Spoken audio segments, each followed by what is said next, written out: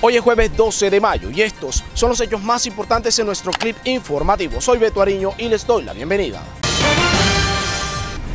Atención, hace pocos minutos fue asesinado a balas un hombre en el barrio Divino Niño de Valledupar. La víctima era conocida como el enano. Las autoridades avanzan en la investigación de este caso.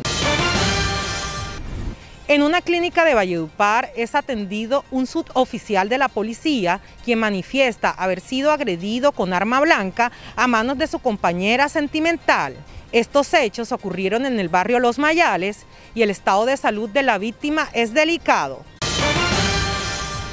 Un sicario motorizado asesinó a Héctor Betancur Lara de 31 años mientras transitaba por la invasión Altos de Pimienta aquí en Valledupar. La víctima, quien era conocida como Calet, fue ultimada al frente de un billar.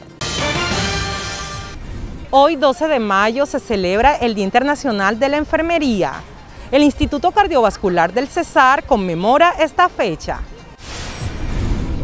Es una labor de amor hacia los demás, de servicio, de sacrificio, de tenacidad, de esfuerzo y eh, es en pro de la recuperación de muchos enfermos y de velar por el cuidado de todas las personas que tenemos a nuestro alrededor.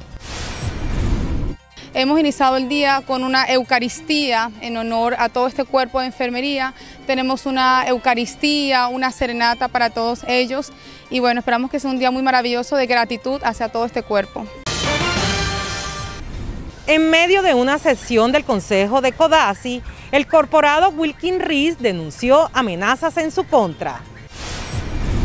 Puse en conocimiento de la funcionaria de la Fiscalía y muchas de esas, amenazas venían por parte del alcalde municipal. Demostración de ellas y tengo pruebas. Se las di a conocer a la Fiscalía de Codasi y la respuesta de la funcionaria de la Fiscalía fue, váyase del mismo, porque usted sabe cómo funcionan las cosas aquí. En Chiriguaná fue asesinado de varios impactos con arma de fuego Armando Mejía Chinchilla de 37 años, quien había sido abordado por sicarios motorizados quienes le dispararon en repetidas oportunidades. Mientras tanto, las autoridades adelantan las investigaciones de este caso. Las autoridades policiales desarticularon la banda Los NKD, dedicada al hurto armado en Chiriguaná. Logramos hacer seis capturas, cinco por orden judicial y una en fragrancia. Una vez le demostramos a los chiriguaneros que estamos comprometidos por la seguridad, que vamos a seguir combatiendo a la delincuencia en cada rincón del municipio.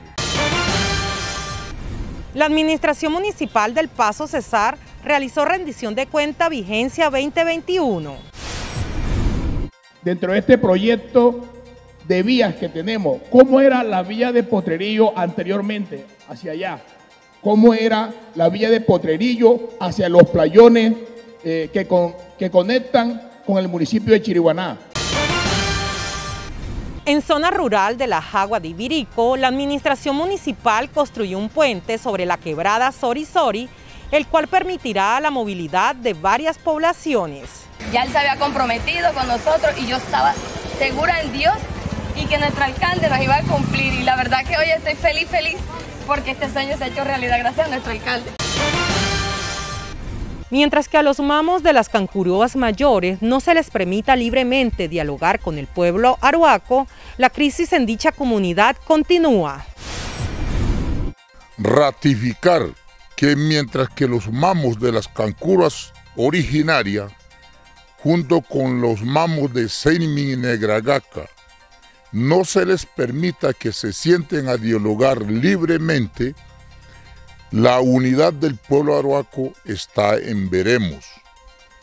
Políticamente hablando, entre las autoridades, hemos invitado a Zarabico para que informe de los siete mil y pico de millones que ejecutó de manera unilateral sin el consentimiento de las 34 asentamiento no lo ha hecho.